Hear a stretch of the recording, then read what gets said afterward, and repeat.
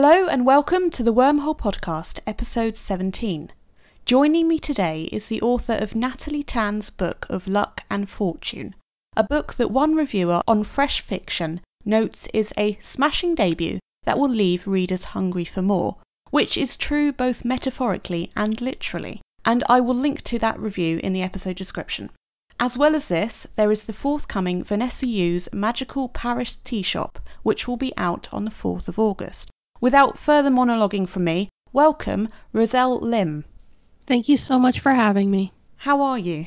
Right now during quarantine, it's a little bit dicey mental health wise in that I've already lived through one somewhat of a similar outbreak or pandemic because I was in Toronto during the SARS outbreak in 2003. Hmm. So the experience is a little bit similar in that there was a lot of obviously racial backlash against Chinese people then, and you see it now as well against Asians, and that's carried over. The main difference is that the lockdown, having to stay inside and not really be able to go out. For me, the way it affects me the most is I'm a creature who needs food for comfort. Hmm. And having to resort to just only making my food, it makes it a little bit difficult in that I live in the country and it's hard for me to get to the nearest Asian grocery store to get all of my ingredients anyway. So there's a lot of food that I've been going without that's driving me somewhat nuts. I can relate to that. I'm stuck to getting grocery deliveries, so whatever's from that one shop I get. Got a big list of places I'm going to when it's over. I can't remember if it was you who added me or if I added you, but one of us added the other on Twitter, and I followed your journey from hopeful novelist to published author. Can you tell us more about your writing background? English isn't my first language. English is actually my third. I was born in the Philippines and my family's ethnically Chinese, but I also have Filipino cultural background. The Hmm. dialect we spoke of Chinese is Fujian, Hokkien. I also speak Tagalog, which is the native language of the Philippines, and of course English.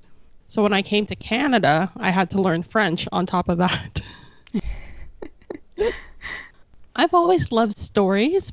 My grandmother in the Philippines, she'd buy these comics or these novels and she's constantly reading all the time and we'd watch Filipino shows and stuff all the time and she would read to me or tell me native folklore, mythology, all of that, just constantly stories and stories and learning about that instills this desire in you to eventually write and make your own.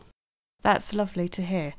Your first book, Natalie Tan's Book of Luck and Fortune, is about a woman whose name listeners might well be able to guess. She's returned home after her mother's death. She's been away for some time. She wanted to study cooking, which her mother was against. And in returning, she finds her neighbourhood community very changed. It's essentially threatened by the real estate industry. And to keep this brief, she starts to consider reopening her grandmother's restaurant, which has been considered a jewel and crucial to the area. So, Roselle, although you've got these different themes of the sadness and Natalie's growth, it's very nice, it's quite magical. And then I got to about 50% of the way through the book and I thought, hang on a minute, is this book one big metaphor? In what way? Curious to hear what you think. Oh, that's, uh, you're turning that on me. Oh, so it goes from magical realism and you think, no, this is full on fantasy. I just wondered if there was a big theme that kind of pulled it together that's maybe under the surface of what you've written. Part of it is the kind of the immigrant generations that come after, what their pattern is. It kind of mimics the mother daughter relationships.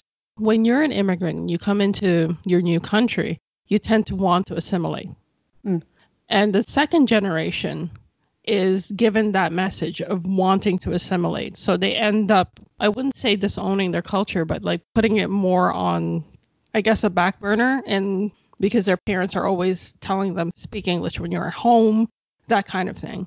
And then when you have the generation that comes after that, there is a big movement into rediscovering your roots and your cultural roots for what was missed in the previous generation. Hmm. So that's the theme that I have in there. The other themes that I have is mental illness, in that, in definitely in my culture, there's still a lot of stigma around it and getting help. and identifying it. And I wanted to show that Miranda, having suffered from anxiety and depression and agoraphobia, that she could be a good mother even though she's suffering from these things. Hmm. On this subject, talking of different metaphors here, you have metaphors everywhere in the book, literary metaphors almost. The one I most remember is the idea of tears as tiny crystals collected in a bowl. You have a particular love, a joy in words. For me, the tears turning into crystals are, it's something that I think is relevant in that when you have sorrow, especially such a deep sorrow, it never really goes away, and there's always as it is in your head, in your memories, that it's there, it lingers, I think that it's just a logical conclusion to have a physical manifestation of that. I saw it and I, I liked it as a description, but that's been very interesting to hear, definitely. Tell us about your main character, Natalie. Was she always planned to be unsure of herself? Yes, definitely. Because of her upbringing, Natalie had a very difficult childhood in that she had to deal with her mother having these issues and feeling just isolated. Like she had to be somewhat of a caretaker for her mother. And that burden on a child shapes you and gives you a lot of hangups. And some of these hangups are commitment issues, just also having that chip on your shoulder when you see the people. That's why she views her neighbors with animosity and that she felt that they never helped her. Mm. You've introduced the mother's mental illness, and obviously we've got the relationship there. May I ask, how did your relationship with your own mother influence the novel? It was me. It's not so much that my relationship with my mother, this is my relationship with my daughter. I've always been very transparent that I suffer from anxiety and depression. The only thing that I don't have is obviously the agoraphobia that Miranda suffers, but I wanted to prove this and that I have a daughter, and I wanted her to see that even though, yes, her mother suffers from bouts of sadness that is deeper than the regular kind that she experiences, that it doesn't detract from my love for her or it shouldn't detract from the quality of our relationship. That is lovely. I thought, oh, you know, it's there's an influence with your mother's relationship with you there, but I'm going to see the novel in a new light. So, you said you're into, you know, your food and that's kind of obvious with the book. What's your favorite meal to make? I'm just thinking what I would consider comfort food. In the winter months, I would have to go with congee, which is like a, a rice, I guess I would call it like a rice pudding. Mm.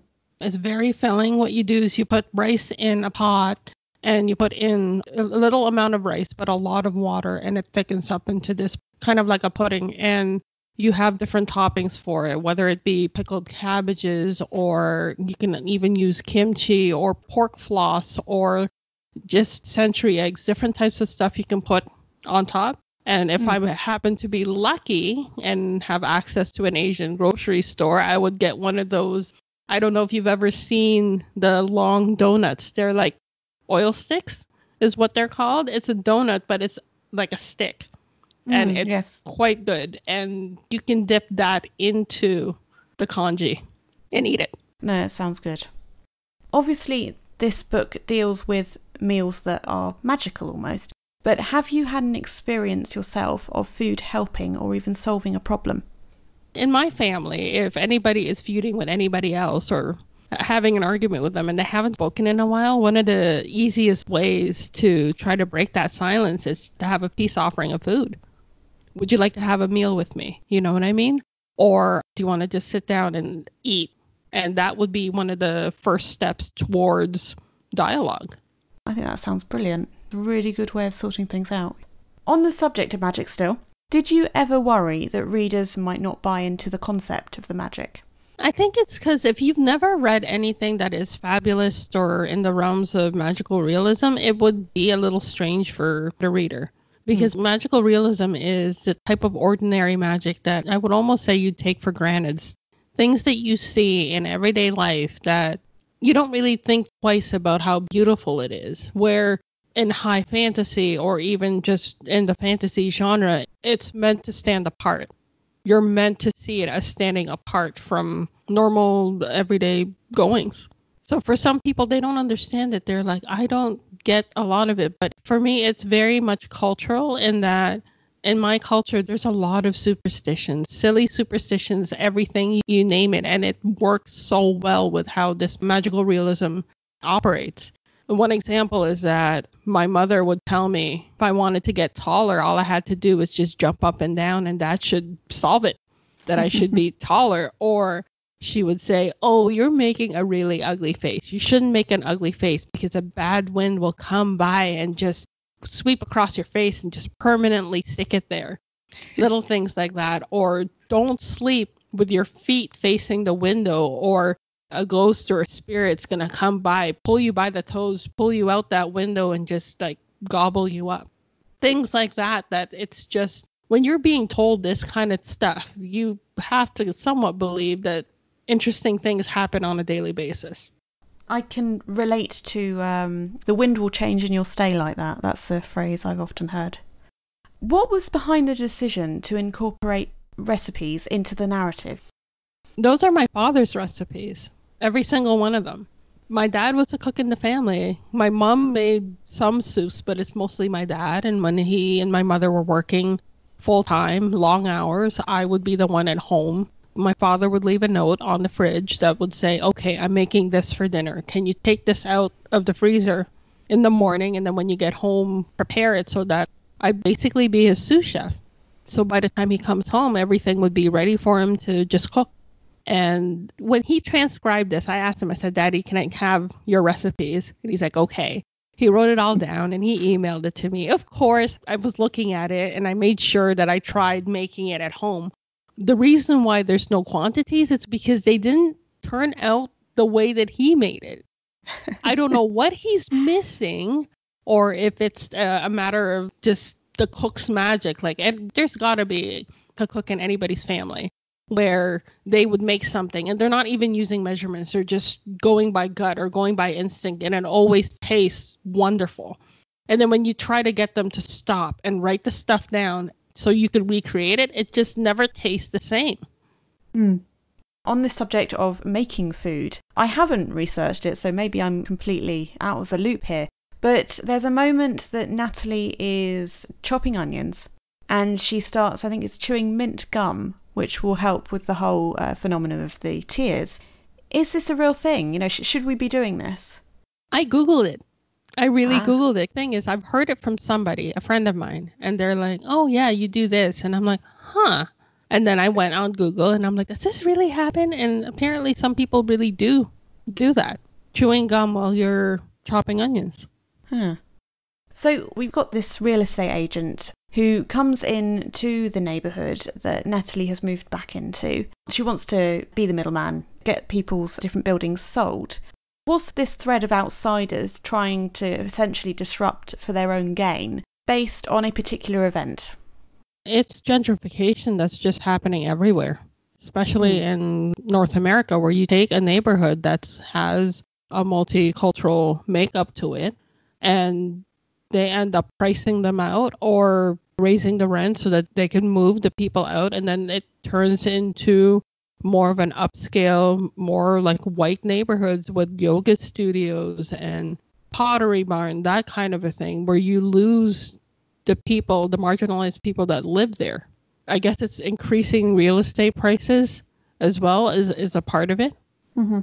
The location you use is San Francisco's Chinatown. Can you tell us, introduce us to this Chinatown? I chose San Francisco's Chinatown because it is the oldest Chinatown in North America.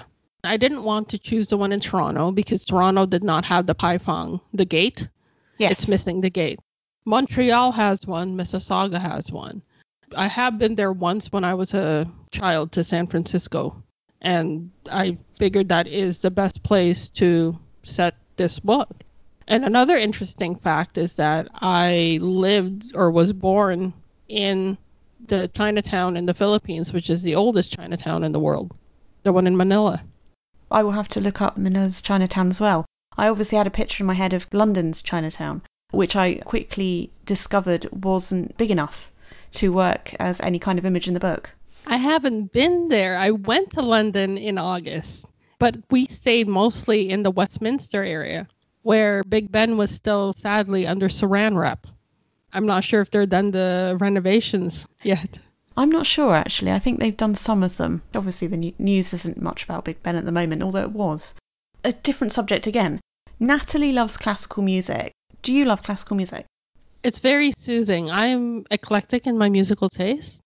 I like listening to it.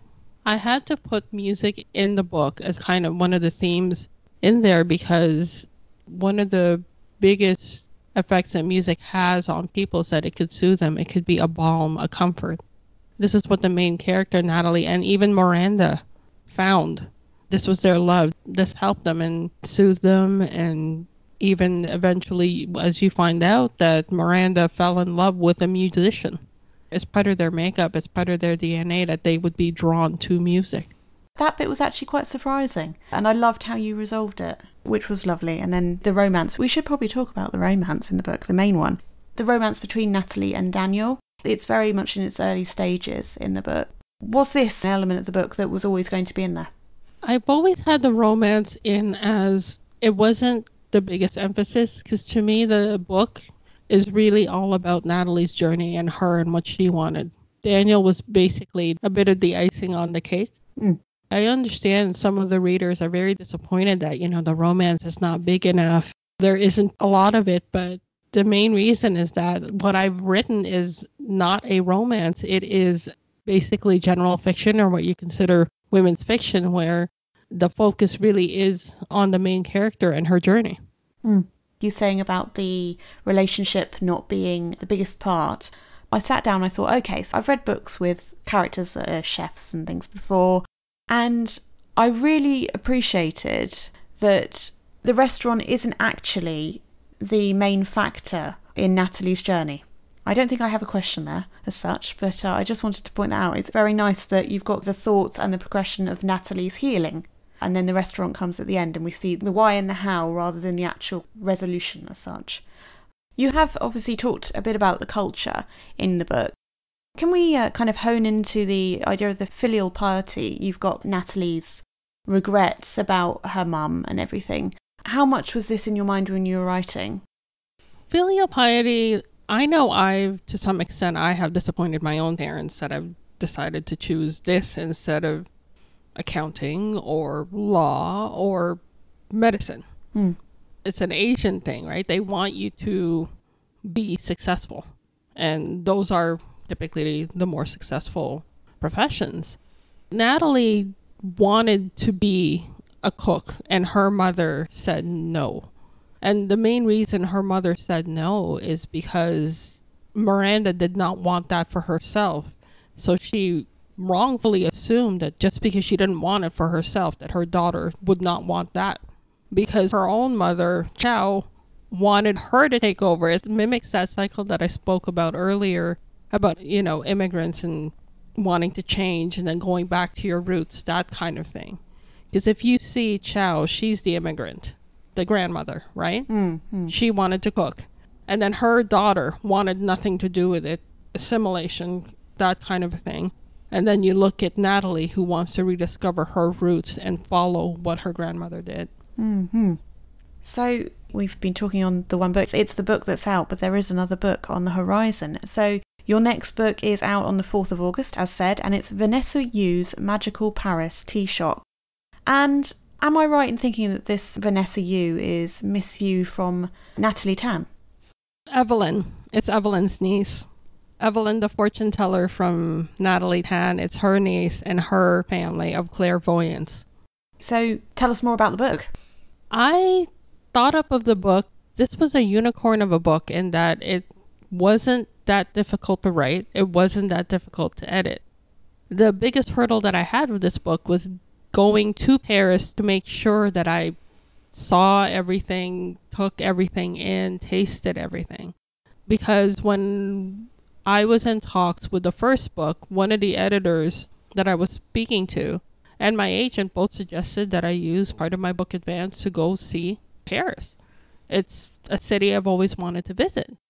And last August, I finally got that figured out. I wasn't sure what was going on with Brexit because we were planning to do Paris for one week and then London the next week. We were originally going in April because Paris in the springtime, yes, that's what everybody thinks about. But unfortunately, that was also close to where the Brexit decision was, and we weren't sure what you what your government was doing. Oh, no, no one's sure. Yeah. we pushed it all the way back to August. When I finally went, it was it was everything that I've always dreamed of because ever since I was a child, I wanted to go to Paris because of the art and then the food.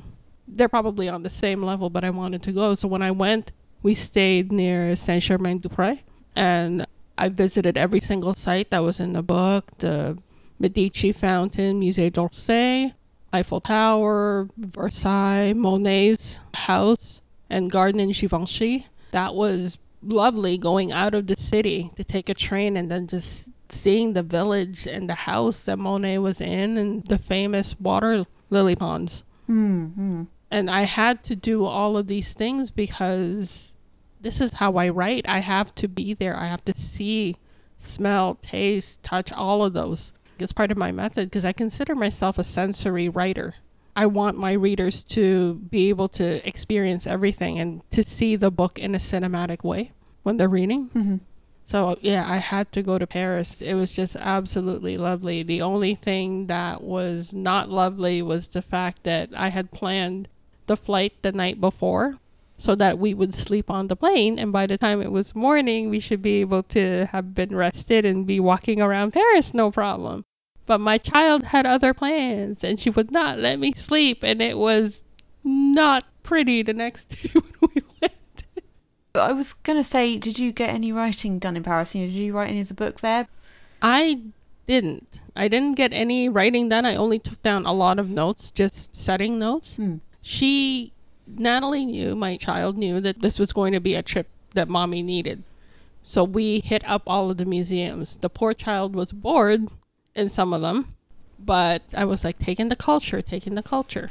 So she's looking at everything, and I had to see all the paintings. I didn't get to see or linger in front of the paintings that I wanted to linger because if it was just me and my husband, I would tell him, hey, I need at least a solid half hour to stand in front of this thing and look at it. You could do whatever you want, go take her, whatever, but that didn't happen because as children go, young children go, she's like, I'm done. and I'm like, okay, move on. I haven't got children myself, but I went with my mum and my nephew to Osborne House, Queen Victoria's house on the Isle of Wight here. And I was really, really looking forward to showing him this place that I'd been to before and loved, and we just ended up going through it very, very quickly. So, Yes, that is a disappointment. But I did do things for her in in London because we did the Harry Potter studio tour for her, mm, which she loved. And I can't remember what the name of the toy store was, the one that was multi-floored that had a bear. Hamleys? Yes, Hamleys. We took her to that. That she enjoyed. And the Harry Potter she enjoyed. Unfortunately, my North American child, I said, This is your day. We get to do Harry Potter. We get to go to Hamleys. What would you like to eat? She looks at me square in the eye and says, Pizza Hut. I'm like, We flew your butt eight, nine hours to get to Europe, and what you want to eat is Pizza Hut. And she's like, Yes, mommy, that's what I would like for lunch. So we had Pizza Hut, which is an experience compared to the Pizza Hut that I'm used to here. And then afterwards, for dinner, we were walking along the South Bank, which is absolutely lovely. Hmm. And I asked her, What would you like for dinner? She looks at me and she goes, Hot dogs. I just find it really comical that me being such a foodie, that my child would say, I kind of miss home. I need to have pizza and hot dogs. Knowing that we were going to be leaving in like two days. I'm thinking, I, oh, I suppose you could like take her to Harrods or something. Oh, we did. We went. We actually went because it was our modus operandi to take a cab or a black taxi to the tourist attraction and then walk all the way back, however long it took to get to the hotel.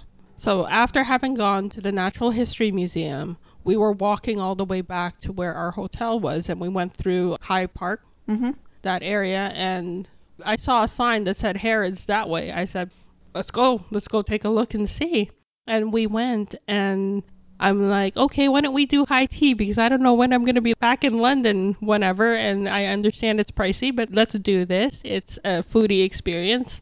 So we sat down and we had the high tea, which was quite good, quite lovely. It's huge. I didn't realize how big Harrods was. Mm. It took us 10 minutes just to try to find where the high tea was. You said that your relationship with your daughter influenced the book. Sorry, listeners, we're back to the first book. Did you ever wonder about a different name for the character? No, it was meant to be for her. It was always meant to be for Natalie. And she's asked me if she could read it, and I said, if you want to, there isn't anything in there that I can't explain to you. Or if you need any further uh, clarification, I'm here. I don't think she's read it, though. She just picked up her Kitty Jackson and went on her merry little way. We're going forward again to the 4th of August book. You have a reading from Vanessa Yu's Magical Paris Tea Shop for us. This reading is close to the midpoint of the book and it covers the start of her clairvoyancy lessons with her aunt. Ma said I was a good girl until forced to do something I didn't want to do. Aunt Evelyn had learned this when she had tried to coax me to drink tea as a child. I'd already had a habit of blurting the predictions and knew what drinking tea would cause. She coaxed, cajoled, and then commanded. I defied her with every molecule of my being. I felt the same now. Rebellion bubbled close to the surface like a simmering broth. This cursed gift both fed and fueled my defiance. With childish logic I had held my aunt responsible. It was unfair then and it was unfair now. She shouldn't have borne the brunt of my frustration years ago, nor should she be its target. I'll be better with my attitude, I said. Aunt Evelyn transferred a chocolate eclair onto my plate. I understand it's hard for you. Right now you don't have any control. Mastering your gift will open the possibilities. Did you ever see anything involving your life? I asked. No. Aunt Charlotte never did either. I wish I had visions of my future. I'm like everyone else. There's a few things I'd like to change in my personal history. I doubted she'd tell me if I asked. The disclosure of regrets was reserved for those who had earned it. I was beginning to think I might never. She continued, It's not possible to see our own path. Imagine how easily we could interfere and abuse our gifts. You'll learn the limitations have a specific purpose to protect us. There has to be room for negotiation. There must be, I reasoned. Of course you'd resort to that tactic. After all, who else taught you better than your aunties? I couldn't help but laugh. Bargaining was an Olympic sport among the aunties, and was further divided into two subcategories, hunting and negotiating. Auntie Gloria once stalked online auctions and local flea markets for a year to find the rare Starship Enterprise cookie jar. The haggling left the seller in tears. Auntie Gloria didn't have a cookie jar collection, nor did she care about the sci-fi television series. But Auntie Ning did, and she in turn was holding a decommissioned Lodro figurine hostage. As far as I knew, no items had exchanged hands because the negotiations were still ongoing. Do you know when I discovered my gift? my aunt asked. I shook my head and nibbled on the eclair with the fluffy chocolate hazelnut buttercream filling. I was five. My piano teacher and I were having tea. I saw a vision of her getting married. Miss Hartnell was quite amused when I told her, months later, when she did walk down the aisle. She thanked me. I still remember what she said. The future is the hardest creature to see. It hides and deceives with its promises of blessings and disaster. When you shared your gift with me, you gave me the clarity I needed. For centuries, the women in our family used our gift to see, a line of passive observers who herald future and cataclysm. You must internalize the core principles of fortune telling before you can begin to control your visions. And they are, I asked. She held up a fist and uncurled a finger with each successive tenet. 1. All predictions are true descriptions of the future's current course. 2. You cannot compel a prophecy. 3. A fortune teller cannot see her own future. 4. Creating false predictions has dire consequences. 5. A fortune teller does not have a red thread. I could see the twisted logic behind the rules. If a seer could compel a prophecy regarding her own future, she could act to avoid it. Which would violate the first rule. A prohibition against false predictions ensured allegiance to the truth. And the fifth rule was cosmic balance, as Aunt Evelyn had said. Where do we go from here? I asked. Are there essays I need to write or books I need to read? This isn't one of your college courses, it's all practical application. Everything I know, I learned through the trials and errors of those before us. There isn't a handbook to study. What I'm going to teach you is how to listen to your gift and maximize it. My aunt helped herself to another serving of millefeuille and unloaded another slice on my plate. I felt I was in Rembrandt's The Anatomy lesson of Dr. Nicholas Tulp. Instead of muscles and bones, though, my study was prophecy. It was impossible to know how many students had passed the course or whether I would too. Where do we start? I asked. Practice. She paused to pour herself more tea. Your fortune telling is erratic. I suspect there's a backlog of prophecies you need to purge. The first step is to submit to the process. I winced, but I had promised to comply with whatever form of torture she had in mind. After all, my aunt had been transparent about how difficult this would be. When you start helping me in the tea shop tomorrow, you will be responsible for sampling tea with the customers. The tea will compel a prophecy, I said. Isn't that breaking the second rule? In this case, no, we need to eradicate the stockpile. It's not compelling when you're running a surplus. How much of one we'll find out. Tomorrow I'll be barraging strangers with predictions I didn't want to dispense for which they hadn't asked. All the traumatic memories of my past rose to the surface. Mrs. Ferguson's accusing and horrified glare, a broken Cynthia at her wedding, the tears in Dad's eyes, and Mark's face holding an expression I could only call a cocktail of shame, shock, and betrayal. She studied my face. Don't look so deflated. I forced my mouth into a toothy smile. I'm ready to learn, even if it kills me. She laughed. Good. You'll need that attitude. I spoke from the heart. I was done running from my problems and resenting my helplessness. In time and with dedication, I could be like my aunt, living a normal life, being respected by others, and making predictions with confidence. With my aunt's help, I too would master my destiny to me, this narrative sounds quite different to you know Natalie Tan. Is it fair to say this is quite a different book? It is a different book because it's a different main character in that Natalie has a lot of mental baggage from her childhood. Hmm. There's abandonment issues. There's a lot that she has that makes the book heavier. It shapes the way she sees the world. With Vanessa, Vanessa grew up quite in a large, a very large, loving family. The only thing in her life that she's grappled with is this gift of clairvoyancy that she didn't want. I do like how you've got that extra voice there of the different people in Vanessa's life. Literally, are you writing your next book? I am. I have a two book deal, which is great that I get to write two more books. And the next one is called Sophie's Lonely Hearts Club, and it's about a matchmaker who returns home and takes on matchmaking seven old, grumpy bachelors. That sounds good. Natalie Tan has been optioned for a TV show. Yes, and I am so grateful. The screenwriter who is adapting it to the screen is Michael Golamco, and he worked on Always Be My Maybe on Netflix. Hmm. And I am extremely excited to say that I have read the script for the pilot and it's amazing. That's very good. Any sort of tentative date? There isn't a date yet. Everything is still a you can't really say anything. Mm-hmm. it's like publishing. Hollywood is just as similar to publishing in that you have to be given permission when to disclose certain details and such and you have to be given the green light and no, there hasn't been many green lights given. Well, it's very exciting, and listeners, look out for it. So, Natalie Tan's book of Luck and Fortune is out now from Berkley in the US and one more chapter in the UK. Vanessa Yu's Magical Paris Tea Shop is out on the 4th of August. You will probably remember this now, listeners, because I've said it so often. Roselle, it's been brilliant having you here, and I've loved hearing about London and hearing about Paris and everything about Natalie Tan because I really did enjoy all the little bits that make this book what it is. Thank you for joining me today. Thank you very much for having me. Hi, listeners. June has had five Mondays, so there's a bit of a gap between this and the next episode. Join me on Monday, the 13th of July, when I will be talking to an as yet to be confirmed author.